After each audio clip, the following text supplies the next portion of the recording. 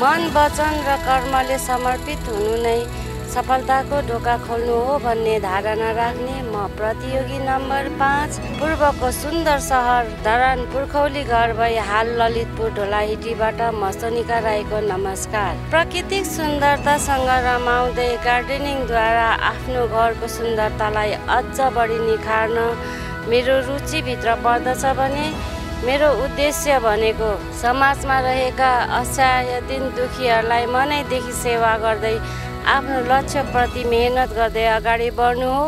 Mrs Jiva Nepal two thousand twenty थ्रीमा आउनुको कारण भनेको आफ्नो बौद्धिक क्षमतालाई अभिवृद्धि गर्दै म जस्तै विवाहित महिला दिदीबहिनीहरूको लागि हौसलाको पात्र बन्न आएकी हुँ। धन्यवाद।